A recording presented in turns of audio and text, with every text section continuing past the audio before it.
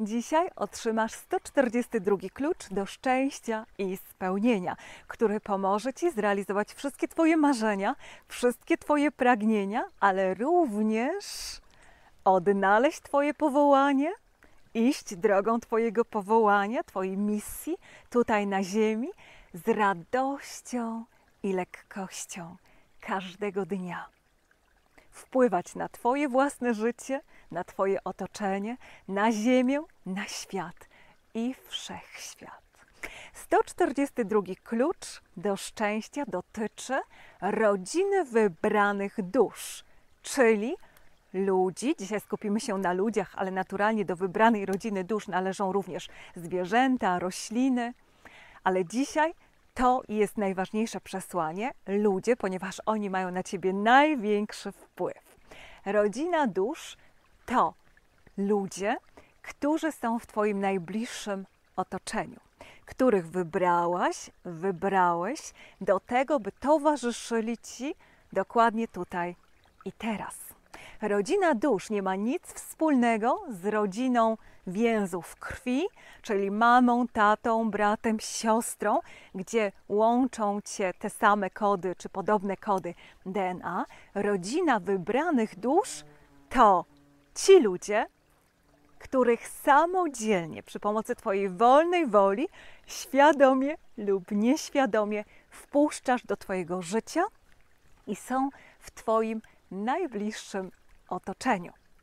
Rodzina dusz wybrana nieświadomie lub świadomie to wszyscy ci ludzie, z którymi spędzasz najwięcej czasu, czyli może ktoś, z kim pracujesz zaraz obok ciebie, z kim chodzisz na lunch, z kim e, chodzisz do kina, do teatru, e, z kim spotykasz się towarzysko, z kim najczęściej rozmawiasz.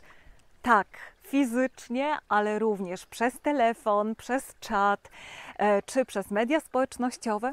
Kogo najczęściej obserwujesz, kogo najczęściej słuchasz, czyli do Twojej wybranej rodziny dusz, Twojego najbliższego otoczenia, należą również ludzie, których oglądasz, czy w telewizji, czy w innych mediach. To wszystko ma na Ciebie ogromny wpływ na to, kim jesteś i kim będziesz w przyszłości. Czy Twoje życie będzie pełne szarego i burego koloru, narzekania, trudności, barier i blokad? Czy też Twoje życie będzie kolorowe, jak całe spektrum tęczy, spełnione, radosne, szczęśliwe, lekkie i wypełnione tym, co najlepsze? Na naszym dzisiejszym 142 spotkaniu otrzymasz bardzo ważne wskazówki, aby sprawdzić Twoje najbliższe otoczenie, czyli rodzinę wybranych dusz, z którymi spędzasz najwięcej czasu, czy są to dusze, które wierzą w Ciebie, wspierają Cię na Twojej drodze, motywują Cię, inspirują, dodają Ci skrzydeł zachowują harmonię pomiędzy braniem i dawaniem, czyli nie tylko biorą, ale również dają coś z siebie, i czy ci ludzie poprzez swoją obecność w Twoim życiu pomagają Ci realizować Twoje marzenia i Twoje pragnienia, czy też odwrotnie.